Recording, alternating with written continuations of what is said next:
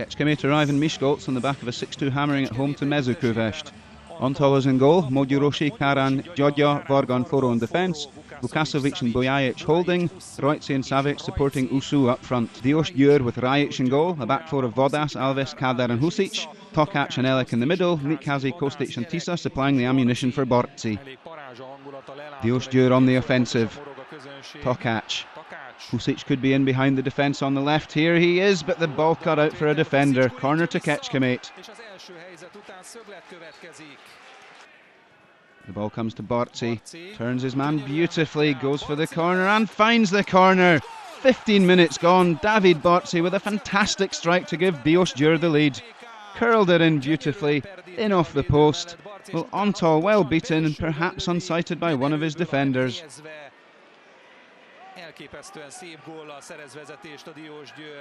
Diósgyőr on the attack again. The ball cut out. Might come to Kostic. It did indeed come to Kostic, but the shot high and wide.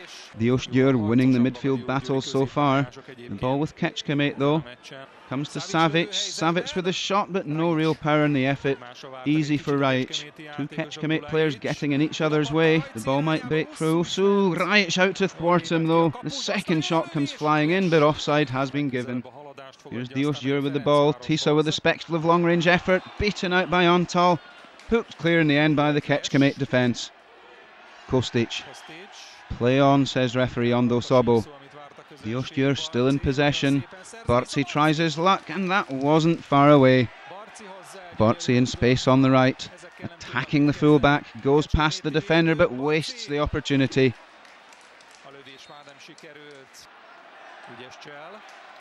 Kostic rides the challenge, pokes it through to Tisa. Tisa with a shot, but well wide of the target. Tokac, still Tokac. Tokac gets in the shot, but that doesn't trouble Antal. Djur with a free kick. It's in a dangerous position here. Tisa is who takes it. It comes off Antal, but Barczi's shot is charged down. Rajczi with a step over. Rajczi shoots 1 1. Diósgyőr have dominated all day. Kecskemét with their first real opportunity, and Peter Rajczi in the 73rd minute has provided them with the equaliser. Rajczi left in space, steps over the ball, fires low into the corner.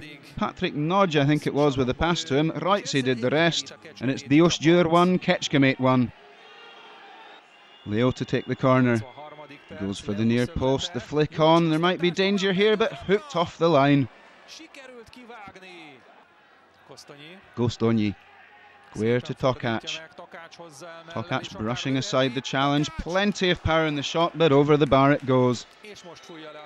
And there goes the final whistle. David Barczi's opener not enough for Dios Djur. Rajczi's second half strike enough to give Kecskemét the point.